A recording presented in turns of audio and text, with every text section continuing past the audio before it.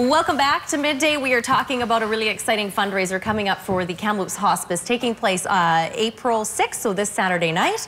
We've got Mark Batuzzi joining us beside me here who is uh, really uh, involved in this fundraiser for the hospice and also a member of the Beyond Brass band. And we also have uh, Ken McClellan joining us who is a Beyond Brass musical leader. And we have on the far end there Pamela Young who's the community coordinator, uh, program coordinator for the Kamloops Hospice. Thanks to the three of you for joining us. You're welcome. Yeah, Uh, nice to let's here. just get right into it, and, and I want to ask you, what is uh, the fundraiser all about? Uh, it's Beyond Brass is the is the main event, right? Isn't that right, Mark? This is the fourth year we've done this, and it's a fundraiser for Kamloops Hospice Association, and uh, all the musicians are from Kamloops.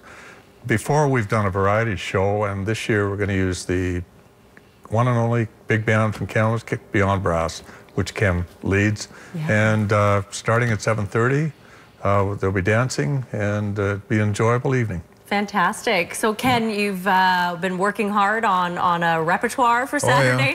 night. Yeah, yeah, we've got a good mix. We've got stuff from right from the sort of the traditional 1930s, 40s big band era, right up into the uh, fairly modern stuff. So Yeah. we've got a good mix. And How many Yeah. members will be playing? there'll be know? probably something like 18 or 19. Mm-hmm. Yeah, we got uh, one guy isn't going to be there, but other than That's that, we're running with about seven saxes right now, and four trombones, and five trumpets, and a rhythm section. So Wow, Yeah. wonderful. That's exciting. So, Pamela, obviously, just uh, being part of the Kamloops Hospice, um, uh, knowing how important fundraising is, of course, for you guys, uh, what does this mean to you?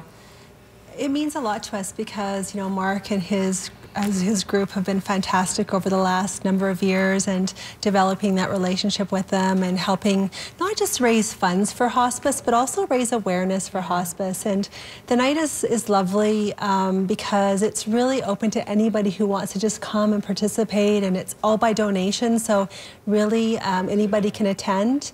And this year we're putting the monies towards some medical equipment that we really are desperately needing Oh, at hospice. And we are a freestanding hospice, one of four in the province. So I think people forget we're not run by our health authority. We do have a contract with Interior Health, but we do have to fundraise a tremendous amount of money. So this type of evening is such a fun evening. It's it's a great uh, night, uh, bringing awareness to hospice, but also featuring lots of wonderful musicians from Kamloops and their commitment to our community too. I think the timing too couldn't be better on this for this year, Pamela, Yeah. because of you know your new build, the extension, and sort of the excitement surrounding having this new part uh, for the Kamloops Hospice to take to to enjoy, right? Yes, yeah. I think it's just an extension of the wonderful work that's been done every year for many, many years. But especially this past couple of years, we've had um, some great, uh, wonderful additions and changes up at hospice, and just going to really enhance our community uh, programming for um, the citizens in the area of Kamloops. So.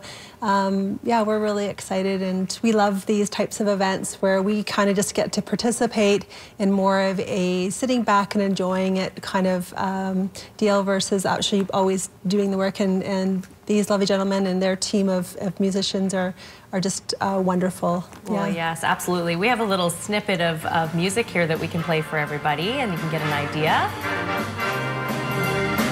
So was this, when was this, you guys? This was, um, I think, late January, early February. We played a job down at the uh, Desert Garden Senior Center, but it was for the uh, Lindy and the Loops Dance Club.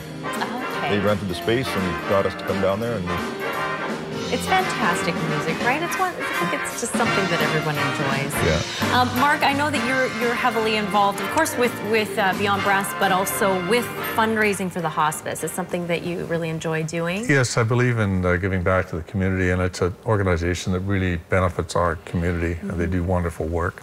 So, the name of the evening is called Swing Into Spring, and Yes. so we're come and dance and enjoy the big band. Yeah, I'm going to hold Beyond this Brass. up so that we can we can get a quick shot of, of the actual poster here. So yes, so um, this is on Saturday, April 6th. Doors open at 7, performance at 7:30.